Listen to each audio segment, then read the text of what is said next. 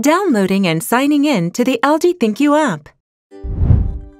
If you have LG electronic products, download the ThinQ app and enjoy a wide array of features conveniently. Guide to downloading the ThinQ app.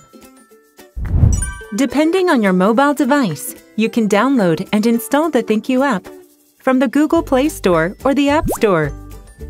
If your mobile device is not connected to a wireless router, data charges may apply, so please check before downloading it. Once installation is finished, let's find out how to sign up for the ThinQ app with your LG account. Open the ThinQ app on your mobile device. Select Register from the login page. Agree to the terms and conditions and tap the Next button. Enter your email address.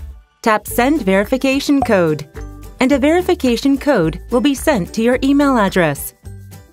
Enter your verification code and other required information. Then tap Next after authenticating your phone number. Registration will be finished once you tap the Go to Home button.